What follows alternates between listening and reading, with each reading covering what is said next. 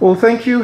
I thought it was a, a, I really appreciate being part of such a robust conversation on the Sustainable Development Goals and also uh, the fact that we've started touching on the fact that there's an African Union 2063 aspirations that has been set out. Uh, seven uh, objectives set out through these, or seven aspirations defined by the African Union for development in Africa. Just a, a point of reflection, I, I always find that with development goals, um, remember we had the Millennium Development Goals and, and we've got the National Development Plan, which I thought was also brilliant, brilliant that it's being unpacked the way it is at this forum. The, the challenge that we always sit with, particularly with fundamental science, is that you have a situation where the scientific project tries and justifies its existence by trying to plug into these SDGs or these development goals. Um, and what I'm enjoying about this debate is that uh, we are it creates an opportunity for a project to come in, present itself, and one can evaluate the project by its alignment to the principles of the SDGs and see where it can improve upon or how it can better align itself, better have its output speak to those to those particular um, uh, indicators. Uh, and therefore, my, my, the topic of my, of my presentation, radio astronomy and SDGs, is the justification of a solution. Um, I, I, SARAO want to point to the fact that we, the Minister of Science and Technology, has now declared us a South African Radio Astronomy Observatory. I am the communications manager of also. We, we are now part of a SARAO structure, which means that all radio astronomy facilities across the country is now under one umbrella institution. So SKA, HARTRAO, uh, we, we fall under this particular facility.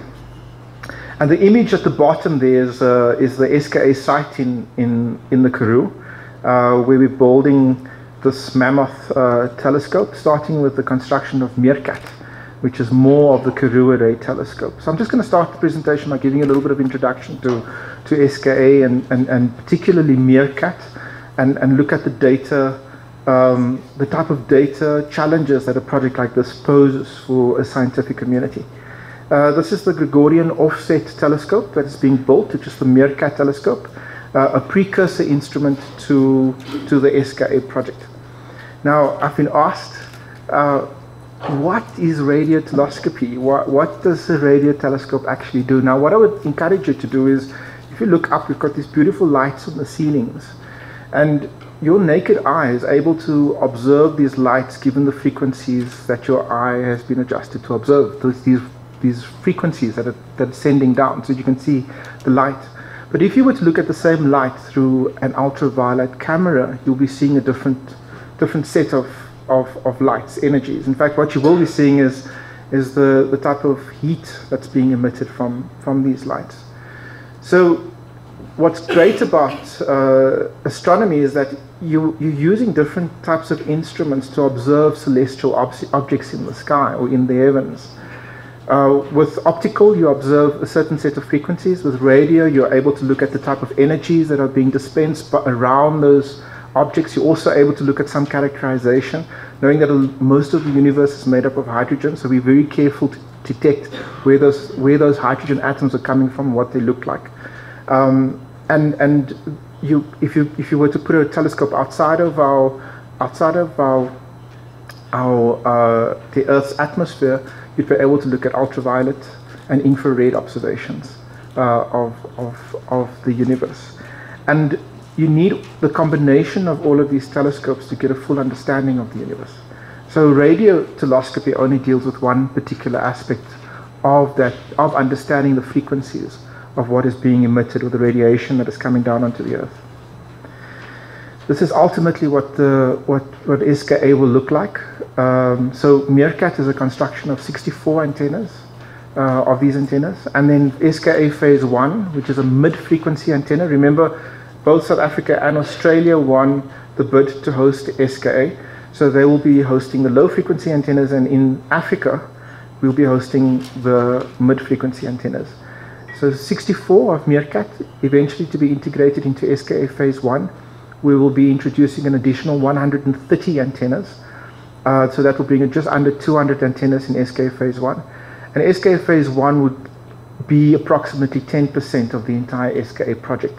So you're looking at possibly 2,500 to 3,000 antennas across the Africa with its core in the Karoo area. Um, this is a close-up image of, of, of MeerKAT uh, with the receiver immediately in your, in your immediate view and, and the receiver would then also on the sorry with the indexer on the immediate view and the indexer also houses different data processing instrumentation like a digital converter uh, the correlator which then makes sure that all of these all the data that's collected can be received and observed as a single as a single image. Eventually um, the, uh, the SKA will be built across nine African partner countries, which includes South Africa. The furthest north is Ghana, and we've had the privilege to launch that instrument in Ghana just a week ago, I think. Um, yeah, yeah, 24 August, a week ago. Um, and so that was the very first instrument in, as part of the conversion project to build these instruments across the across Africa. The significance of building an instrument or doing doing scientific observations from Ghana means that for the very first time in history, a pan-African baseline was used across two instruments in Africa to do uh, to, to to observe the sky. Previously, you'll be using a European baseline, so you'll use the number of instruments across Europe, and before we always did that with the HartRAO instrument just around the corner from us. We speak Gauteng language. Just around the corner in HartRAO, we, we always used to connect the European baseline to HartRAO, and that formed a very long baseline interferometry. But it's the first time that we were able to do so with the instrument that we converted and launched in Ghana last week was a pan-African baseline. And ultimately, these instruments will form one very long African baseline of instruments, uh, through which making the continent one big radio telescope, which I like. So, so you've got as far north as Ghana, as far east as Mauritius and Madagascar, and then obviously uh, the other countries within the SADC region, um, such as uh, Namibia, Botswana, and um, Mozambique. So, data being the new oil, um, or the future oil, or the current oil, we, we look at what sort of data expectations are there, or, or historically has been used in radio astronomy uh, from early 2000 when we used the VLA um, to more recently with MeerKAT and the construction of ASKAP in Australia to what is being promised would be the data, uh, the data processing power of these instruments. So you can see a significant growth, exponential growth, um, particularly from MeerKAT through to the completion of SKA. So how would this work? So you've got huge amounts of data, this, this radiation that falls upon the antenna, um, the collection area of the dish, about two terabytes per second. So if you were to look at your average DVD, your, you know, your, your, your normal uh, movies DVD, I think that's about two gigs, 2.5 gigs. So you're looking at 500 of those being collected per second and then having to be processed. And then we, we, we, we will obviously process that at various um, processing centers. There's a processing center in the Karoo, and then with the assistance of the high performance computing facility at the CSIR, uh, we've gotten a facility in Cape Town that will, that will make sure that the images are prepared so that the scientists can make sense of it, and in turn allow us to make sense of it. And, and then also make sure that that data is available for further research following the initial um, science uh, commissioning. So in order to achieve this. So what you normally do with a, a project of the scale is that you're trying to test technological boundaries so that you can innovate um, and therefore make sure that those innovations belong home. So it was very visionary for South Africa to host, an, uh, to host or participate in a project like this because having SKA in Africa, having SKA in South Africa means that we will be leading the process of pushing those technological boundaries in data processing, data imaging, and that means that we will be at the cusp of, of this economy of big data, being able to lead the rest of the world in this area. Uh, it means a lot of collaborations, both internally and externally. It's not a, a, a silo-focused implementation, and the applications of it needs to have uh, needs to be used within industry. And most importantly, is that the design and the innovation and the solving of the problems are done in partnership with local uh, South African high-tech industry. So it's not only just international high-tech industry, we're also using the expertise locally so that skill can be built here. Um, the last time when I presented, I also spoke about uh, the reversal of what this project allows to is, to is address the issue of brain drain. In fact, it, it, it, it, brings about reversal of brain drain because you're bringing having these high, large science infrastructure projects in your country will draw expertise from across the world and they, they're too happy to be close to the instruments. Ultimately, we're building expensive equipment for the scientists to play with, aren't we? So if we can draw them into our country, that means that they will be nurturing the talent locally. And, and, and we can see how that is really translated into the number of PhDs and postdoctoral qualifications that come off from this project. Another interesting realization that's come out from the data challenge is the establishment of an interdata or, or data intensive astronomy, sorry, Inter-University Institute for Data Intensive Astronomy, IDIA, which currently uh, has five universities participating, including the Sol Plaatje University in the Northwest Province. So um, what it means is that you create tier facilities that are able to process the data, and make the data available, but also the infrastructure so that that data can be used across a number of facilities. Um, this would mean that your data infrastructure is expanded across a number of facilities. So that is made available for across a number of research institutions.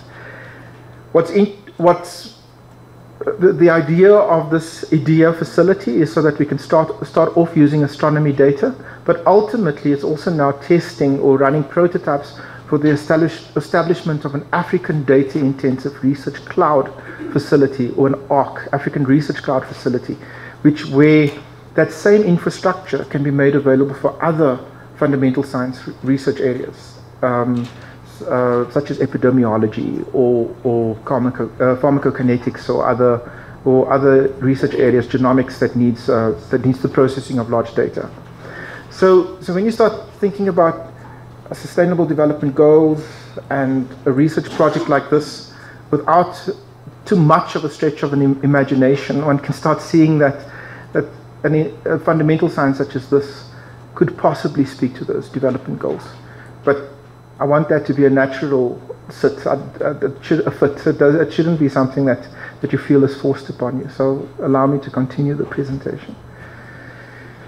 Um, if you look at, uh, so we're all familiar, or we, many of us may be familiar with with um, with the African undersea cables that are sitting across the across the continent, um, um, with the aim to provide this connectivity across the globe. The problem with that, though, is that if you look at the entry points of those of that uh, undersea data cable facility onto the African continent, which is mostly terrestrial, they do not stretch very much further than their point of entry, and that's because the infrastructure for extending that, for extending the data cable connection, the, inf, uh, the, the optical fiber connection across the continent is is not doesn't exist at the moment. Um, and if you if you refer to to the, Africa, the AU aspirations, one of the key drivers that has been identified to further that, those aspirations is transformation around the adoption or, or, or, facilitating transformation by the adoption and coordination of digital technology. I'm going to quote what is written in the 2063 agenda when it says it identified itself as being ambitious. A 50 year uh, development agenda. And, and the way it, it hopes to make sure that its um, aspirations are, are, realized is by calling, having these call to actions. One of them being catalyzing education and skills revolution and actively promoting science, technology, and research and innovation to build knowledge, human capital, capabilities, and skills to drive innovations. Um, which I thought was quite a mature um, aspect of that particular document. So, taking a few steps back, if you, if you look at SKA and MeerKAT, through, there are two potential areas where there are technological development. One is around an area called radio frequency interference. And because of radio frequency interference, we have, it's given rise to many innovations that we are using every day. Wi-Fi, Bluetooth being a few. Um, so, so RFI or radio frequency interference, given the fact that you need a, a telescope to operate in a very low RFI environment, forces technology in this area to be developed and innovation. The other is this whole big data challenge. And if you look at the technological developments around this particular instrument, you'll see that three of them are already speaking specifically to big data. The one is around storage um, and retrieval, software development, so making sure that that data can be interpreted into images, um, and, the, the processing power of, of that data through high performance computing. Other applications of big data, uh, just to bring that into context, would be smarter healthcare, um, security. If, we, if we're able to monitor huge amounts of data, we can already start through imaging identify whether, whether the object we're looking at is, is, is a passive uh, object which will not pose any security risk like an animal or whether it is uh, an object that could pose potential risk. And the only way to teach a computer or to teach a machine machine learning is through processing large volumes of data. Traffic control, manufacturing, um, transportation. Um, most of our connected devices have extended to, to transport uh, uh, uh, mechanisms like aircrafts and cars so that the diagnostics of that can be sent back to a central place. So by the time the aircraft lands, the, the mechanics are already aware of what services that machine will need. Um, telecommunication, as we're all aware of, trading analytics. Um, I, I, went, I had the privilege of attending a, a, a lecture um, on quantum physics and how quantum physics relates to the economy. And through a period of a few microseconds or nanoseconds, you'd be able to analyze the dip or the changes within the economy. And if one were to, or, or stock market, and if one were to able to zoom in on those areas, you'd be better be able to predict uh, stock market activity into the future. But that requires huge data processing power.